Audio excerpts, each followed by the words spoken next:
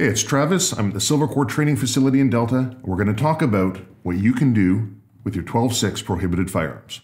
Roll intro.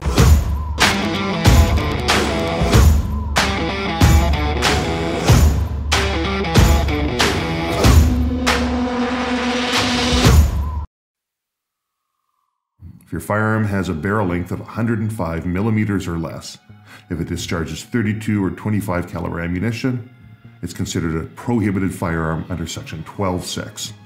So what can we do with these 12.6 prohibited firearms? First, foremost, the best option, take it to the range and shoot it. We've got our firearms license, we've got our authorization to transport, we've got a registration certificate. Take it out, shoot it, have fun with your 12.6 prohibited firearm.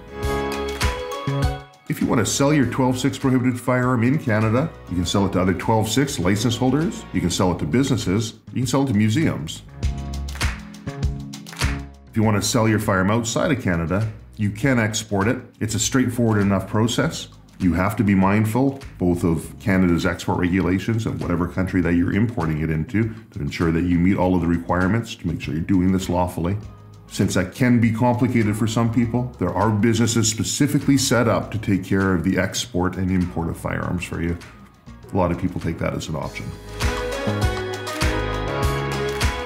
If you never want this firearm to fire again, take it to an approved gunsmith and have the firearm deactivated. There are particular guidelines that need to be adhered to when having the firearm deactivated.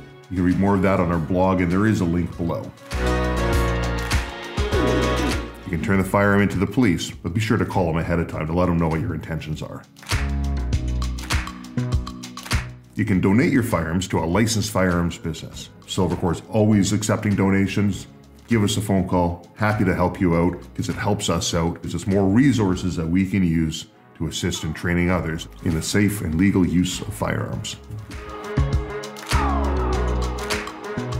You can change the legal classification of your 12.6 firearm having an approved gunsmith alter its barrel length to over 105 millimeters, or if the barrel is already over 105 millimeters, we can look at changing the caliber. Keep in mind if you do have the barrel removed and have a longer barrel installed to make the firearm no longer prohibited. That barrel alone, although you were allowed to be in possession of it when it was installed on the firearm, that barrel is now considered a prohibited device. A prohibited device like a suppressor, same category, same charges. So the licensed gunsmith will have to hang on to that. You will not be able to get that back. We recently had a client come in who asked us to change the classification of their firearm from prohibited to restricted. We had a little bit of fun filming this. We hope you like it.